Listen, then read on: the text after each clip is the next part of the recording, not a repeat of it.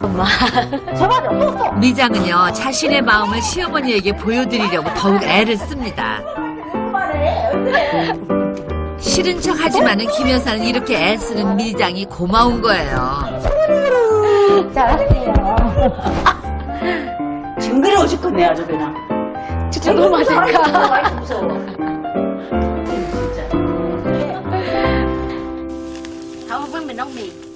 마음이 풀리니까 금세 허기가 돕니다. 미장의 올케가 돼지 갈비를 굽네요. 나오라, 어제 데리고 가라네? 아니야, 고기장 잘 먹었다고. 고기 잘 먹고 있다고? 그러면서 못 쓰면 다시 뒤집어서 구는 건 되는 것이 당신의 딸은 조그마한 장가는 같이도 못해. 내가 다 해서 같이 여기를 아주 고르고 아주 내놨구만.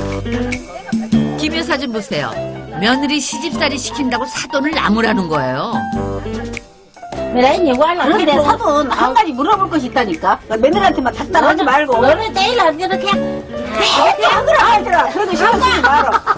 그럼 너는 나 형이야, 나. 그게 시집살이라고. 아니, 옆에 징기스 앉아서까지 며느리를 잡아. 왜? 아니, 엄마가 옆에 앉아서까지 이렇게 하니. 참네. 이거 봐봐. Cháy khét hết trơn rồi. 아이고, 머리 아파라. 막 진짜로. 시어머니가 옆에 앉아서 고기 내붙이다고 말하는데 그게 싫었지. 그렇게 하면 썩었어. 그래, 사랑할게.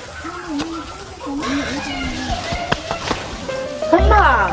한국에서 제가 잘못을 뭐 엄마가 옆에 빨리 말하잖아, 말했잖아요. 아, 근데 뭘 그래, 왜 이렇게 잘못 구워? 네 맘대로 구우잖아, 네 맘대로. 잘못 구우면 너왜 안, 안 익었잖아, 이렇게. 안 입으면 분명히 말해야지. 그 말다해서 하지도 말아. 이게 바로 내가 하면 로맨스, 다른 사람이 하면 스캔들 그거 아니에요? 아이, 됐어. 왜요? 말기 싫어. 말하기 싫어요. 아, 한국에서 저, 어, 저한테 엄마 그러면서 왜 여기 우리 엄마가 언니 가르쳐 주잖아요. 왜 엄마가 하지 말라고 해요. 아, 그래?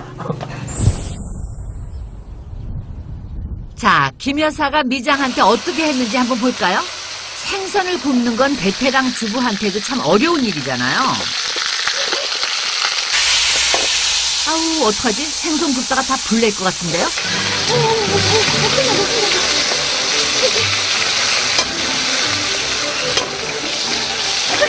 아직도 쉽지 않은 시집살이.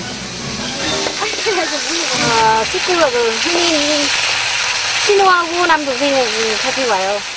그래도요, 고생하는 건 시어머니가 좀 알아주시면 좋잖아요. 제가, 저, 제가 고기, 맛있, 맛있는 고기 하나 왔어요. 그 맛있게 구진 것이냐? 덜 구졌다, 야.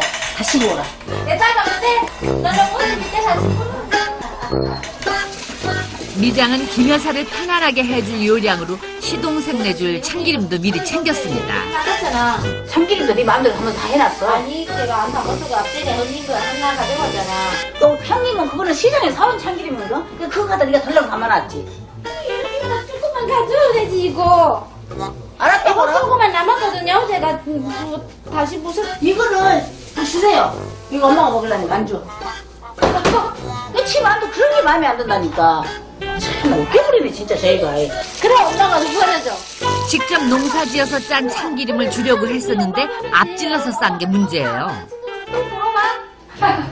아이고 아이고 아이고 아이고 속 터져 터져.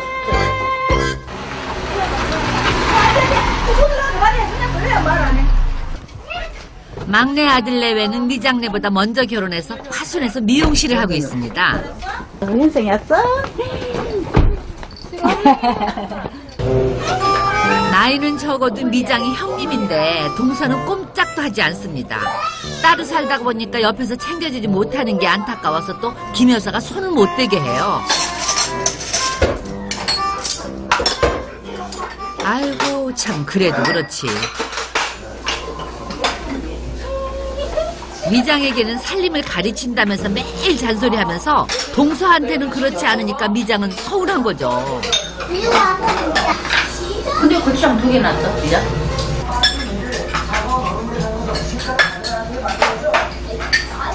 여선생님 끓이신 거예요?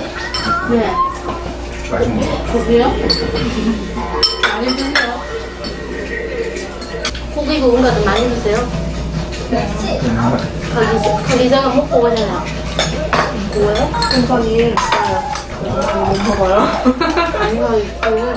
한국 생활 5년. 이제는 할 수 있는 게 많은데 자꾸 못한다고 하는 것도 참 속상합니다. 나는 이거 맛있는데. 아이고.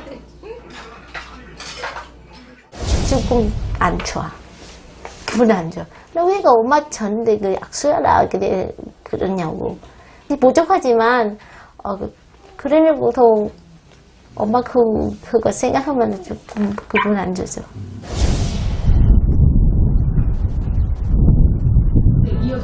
며느리가 얼마나 노력하는지 좀 보세요. 결혼하면서 지금까지 시아버지의 손톱 발톱 다 깎아드렸대요. 중앙재난안전대책본부도 직접 얘는 타고났다니까 진짜. 시간 되면은 시가 이렇게 이렇게 나 눈도 안 보이게 이거는 쪼까 잘라주라고 하면 잘라주고 안 그러면 지가 쳐다보고 아이고 왜 발톱 잘라야지 그냥 지가 자르고 그래. 아빠 아빠 말한번 쓰려면 저는 준대.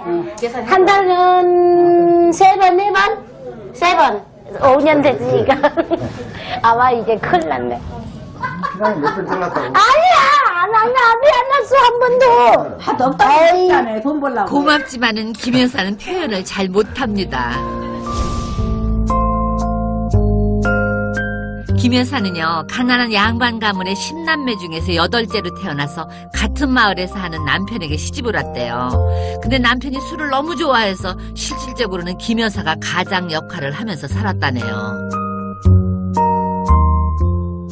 나는 내 생각에 현대감이 많고 그러니까 나 하나 덜고 싶었어요 우리 집에서 나 하나 덜어 내가 이 사람 피우면 잘 마치고 이 사람 찾고 살면 이 사람도 마음을 하나 얻었고 나도 이 사람을 인도하면서 정말로 달려가면서 살면은 되지 않을까